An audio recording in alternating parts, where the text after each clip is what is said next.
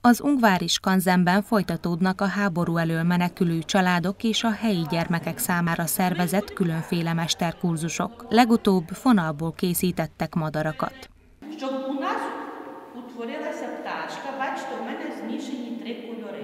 Значить, нам треба таких пучків буде скільки? Три. Arina és édesanyja Szumiból érkezett Ungvárra. A pénteki távoktatásos órák után érkeztek a skanzenbe, hogy kikapcsolódjanak. A fonalmadarakat klasszikus fehér-fekete és szürke színekben készítették.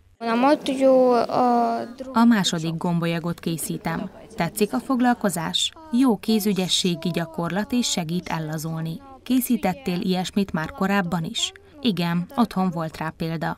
Mit fogsz csinálni a kész madárral? Lehet, hogy otthon ráerősítem valamelyik virágra, vagy felteszem a könyvespolcra. Aljona, Arina édesanyja elmondta, hogy már a háború kezdete utáni első napon elindultak otthonról, de Ungvárra csak három nap múlva érkeztek meg. Régebben tervezték, hogy el fognak látogatni Kárpátaljára, de azt el sem tudták képzelni, hogy erre ilyen körülmények között fog sor kerülni.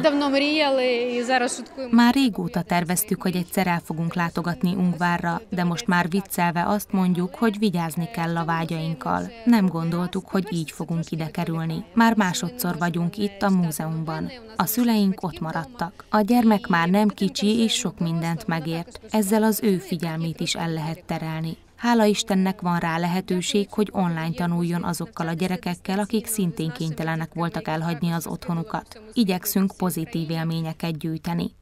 Az öt éves Harkivi Vlada is élvezi a fonalmadár készítését. Madarat készítünk, egyet már megkötöztem, a sárgát még nem. Milyen színeket választottál? Zöldet, sárgát és narancssárgát. Hol fogod tartani a madárkát, ha elkészül? Ahol a többi alkotásomat. A kis Szása is tudja már, hova fogja tenni a madarát.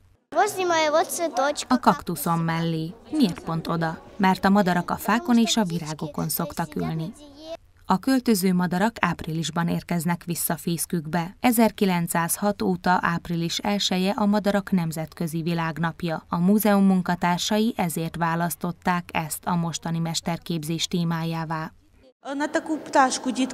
Egy-egy ilyen madár elkészítéséhez 30-40 percre van szüksége a gyerekeknek. Csomózással készülnek. Három különféle színű fonalat kell elkészíteni, majd egyberakni. Ilyen egyszerű módon készül el a fonalmadár.